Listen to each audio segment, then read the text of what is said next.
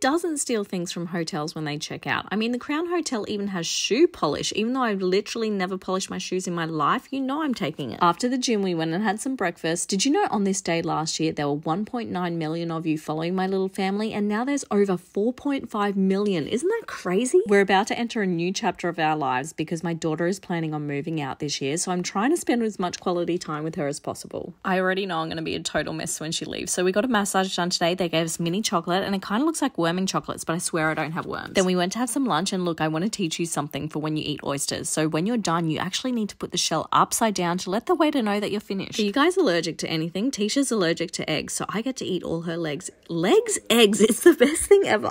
Also, I need to get something off my chest. Everyone I run into says something about this bag, about how cute it is and how much they want it, and I get so awkward because this bag is literally fake. I bought it from Bali.